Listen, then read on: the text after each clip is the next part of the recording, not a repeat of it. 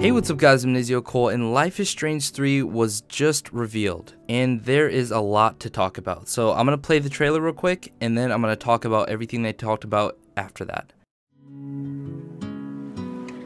When I moved to Haven Springs, I hadn't seen my brother Gabe in years. Alex!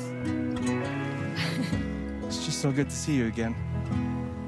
Welcome to Haven. This place is pretty sweet. I'm glad you two met. Is this dude my best friend? And this dude hands me the best beers? Alex, right? I'm Steph.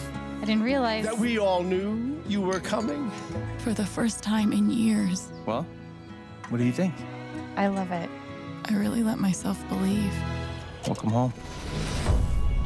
I don't know what to believe now, except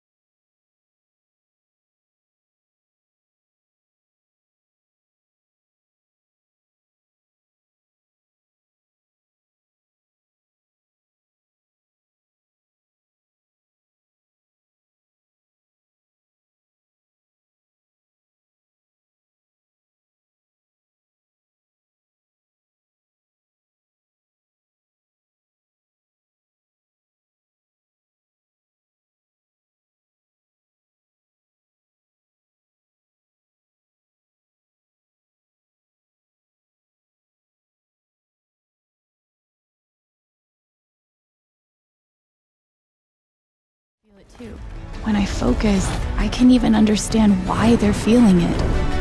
And if somebody's feeling something big, it infects me and I lose control. I've never told anyone. But now I can find out what's really going on. You'll need help. I've got your back.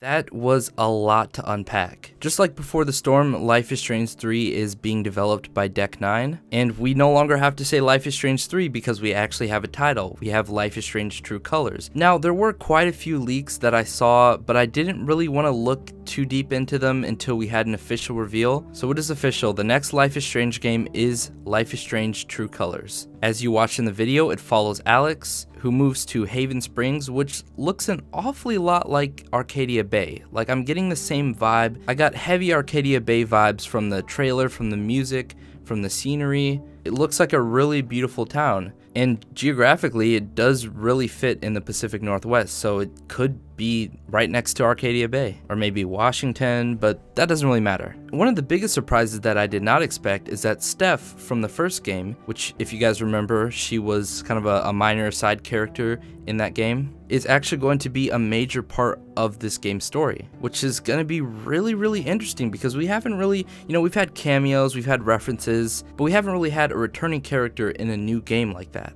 Now, what I'm going to talk about, you know, technically it isn't spoilers because they talked about it in the official video. I'll put a timestamp in the description for you to skip to the non-spoiler part. So in the game they reveal that she was in foster care, she hadn't seen her brother for 8 years, and when they finally meet, he dies, and she develops a mind reading power, but not just mind reading, like emotional mind reading. Like you can feel the emotions of other people. So she's an empath. Um, if any of you guys have watched The Flash, there's a character on there whose name is Cecile, and she's also an empath. I was getting heavy vibes from that. I wonder how that power is actually going to look visually in the game. From what they showed in the trailer, it looks really, really interesting, like this, uh, like this aurora around her to signify what emotions she's feeling or what emotions she's sensing from someone else. And they also said that if she's not careful, she can actually develop the emotions of someone else. So if someone has extreme anger, then she connects to them, then she could inherit that anger. So that would be that's actually a really interesting mechanic. And because Alex is the main character, I'm assuming we're going to get to play as that. So this is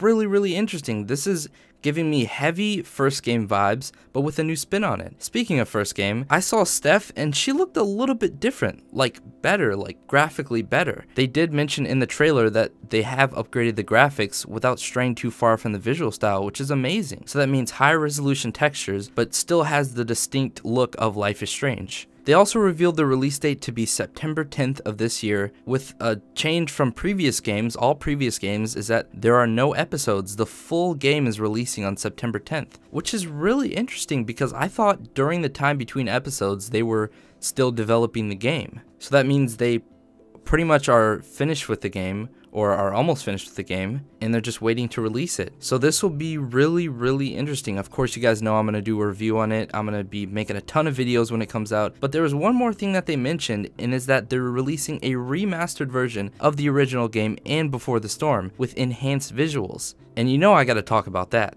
They didn't give a specific day for that, but they said it was releasing in fall, so I imagine sometime either before or after the launch of True Colors. So yeah, this was a crazy announcement. I was not expecting all of that. I had kind of an idea based off of some of the leaks that I read, but I didn't want to get my hopes up, but, but True Colors looks to be really, really promising. As always, I'd love to hear your thoughts on this reveal down in the comment section below. Let's have a discussion. What do you like? What do you hate? What are you excited for? Hope you guys enjoyed this video, and I'll see you guys later. Peace.